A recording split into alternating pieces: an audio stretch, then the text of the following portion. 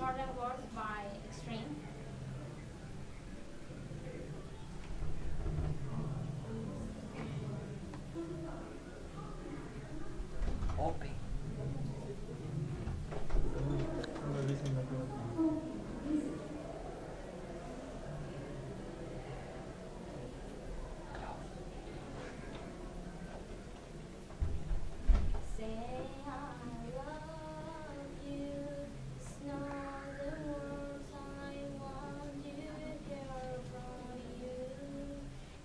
that I want you, but you say, but